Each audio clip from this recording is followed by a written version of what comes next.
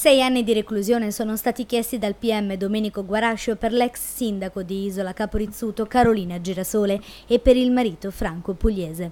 Per entrambi l'accusa di corruzione elettorale, turbativa d'asta e abuso d'ufficio, nell'ambito del processo sull'inchiesta Insula che ha fatto luce sui legami tra l'ex sindaco antimafia e la Cosca Arena.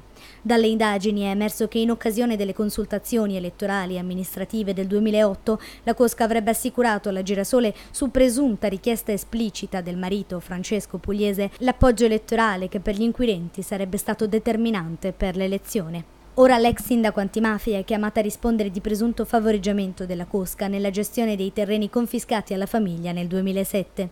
La Girasole, infatti, in cambio dei voti elettorali della mafia, avrebbe consentito agli Arena di coltivare finocchi sui terreni già confiscati dalla magistratura. L'ex primo cittadino avrebbe sempre, secondo l'accusa, favorito la ditta che si aggiudicò l'appalto indicata nel clan degli Arena. Il PM ha chiesto 14 anni di reclusione per il boss, Nicola Arena, e per i due figli di lui, Pasquale Pasquale e Massimo.